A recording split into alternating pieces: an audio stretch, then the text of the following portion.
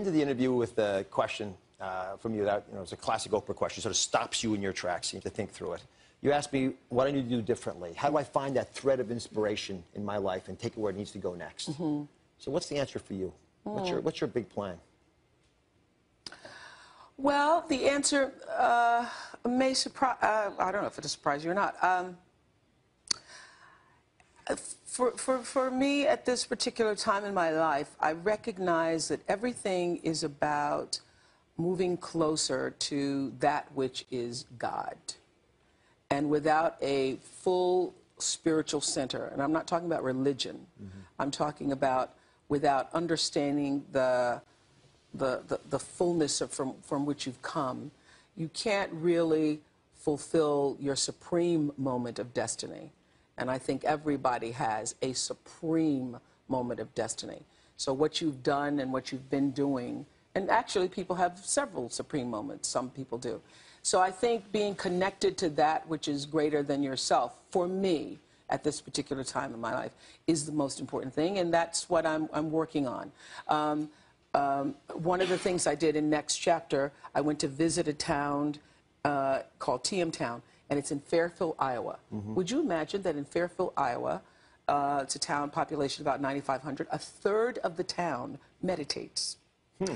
So there's a traffic jam in Fairfield, Iowa at 5:30 with mothers and doctors and dentists and lawyers and engineers and clerks and soccer moms all headed to the dome in Fairfield, Iowa, people who look just like you and me, and they're all there meditating.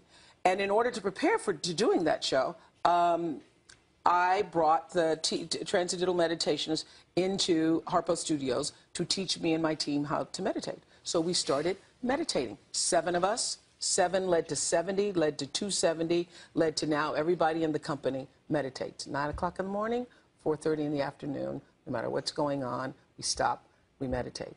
And that way of being still with ourselves, coming back to the center and recognizing that something is more important than you, it's more important than the work you're doing, it's more important, brings a kind of energy and, a, and, a, and, a, and, and an intensity of energy, an intention that we've never had before. And you, you can't imagine what's happened in the company. People who used to have migraines don't. People are sleep, sleeping better. People have better relationships. People interact with other people better. It's been fantastic. So what, the one thing I want to continue to do is to center myself every day and make that a, a, a, a practice for myself because I am 1,000% better when I do that. Oh. 1,000% better when I take myself back to something bigger than myself.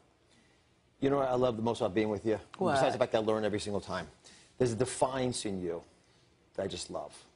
A defiance? Yes. In me? In you.